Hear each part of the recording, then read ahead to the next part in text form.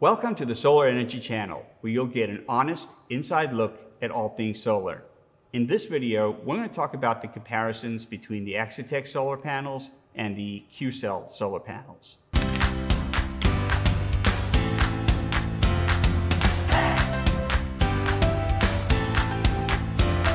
I'm Warren. And I'm Larry. And don't forget to like and subscribe so that you'll receive notifications for future videos just like this. So Larry, why don't you break it down for us? What's the primary differences between these two panels? Yeah, so these two manufacturers both produce a great module. We've worked with them a lot. We've installed a lot of them. We've worked with their service teams. We're very comfortable with their products.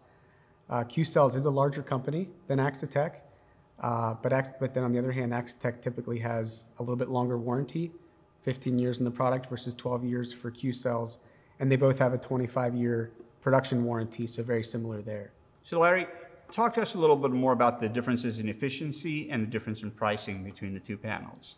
So typically they're very close in efficiency, although Q cells typically comes out with a new technology sooner, so sometimes they're more efficient at the beginning of a cycle. On the cost side, they're again they're very close. Q cells tends to be a little bit more expensive than Axitec. Great.